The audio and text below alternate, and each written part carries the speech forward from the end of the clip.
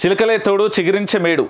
పగలంతా మెండువారి ఉండే చెట్టు పొదలకే వేలకు వచ్చి పచ్చని చిగుళ్ళతో కలకలలాడుతూ కనిపిస్తుంది. అందుకే కారణం ఓ చిలుక గుంపు.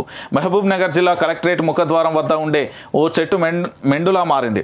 వందలాది చిలుకలు దానిని నివాసంగా మార్చుకున్నాయి. చీకటి పడే సమయానికి ఆ చెట్టుపైకి చేరి కిలకిల కిలకిల రా రాగాలతో ఇలా సందడి చేస్తుంటాయి. గతంలో బస్టాండ్ సమీపంలో ఉన్న చెట్టుపై ఇలా వాలేవి. విస్తరణలో భాగంగా దాన్ని తొలగించడంతో ఇప్పుడు ఇక్కడ వాలిపోతున్నాయంటూ కూడా ప్రధాన అంశాన్ని కూడా హైలైట్ చేసిన పరిస్థితి అయితే కనిపిస్తుంది.